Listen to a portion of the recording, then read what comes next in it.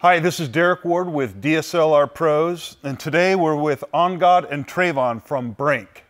We have with us the new Brinc Lemur S tactical drone, and we're in a warehouse. OnGod, you want to talk about what we're going to do here today? Sure, absolutely. So today we're going to run through a scenario. There's an individual in a warehouse.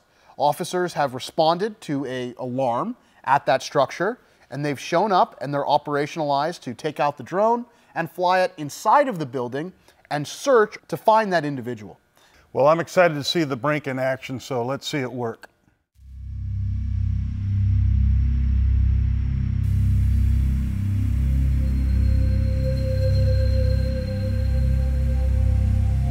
So now we're watching Trayvon fly this drone down these hallways. He's able to look behind boxes, in between boxes, and different things that the suspect may be hiding in. Tell us exactly how that night vision's working and how he goes about taking these hallways and verifying that there's nobody there. So essentially there are two infrared illuminators or night vision flashlights that light up about 20, 30 feet in front of the drone and allow that camera to see in a zero light environment. So now Trayvon's actually located the suspect in the corner, utilizing that night vision. But now that we have the suspect and we have a visual, what are we gonna do? I think you perch the drone, sit it down, turn off the propellers.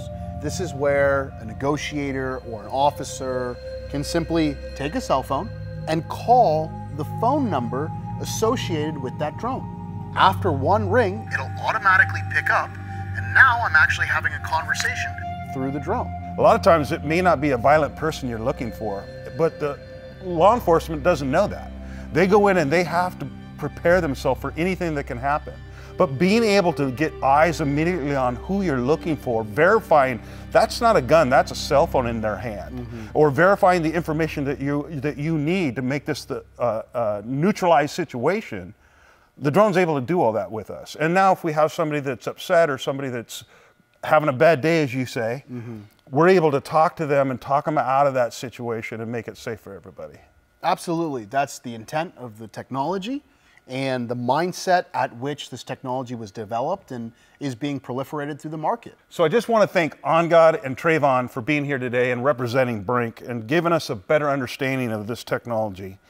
This is Derek Ward with DSLR Pros. Thanks for tuning in and we'll see you next time.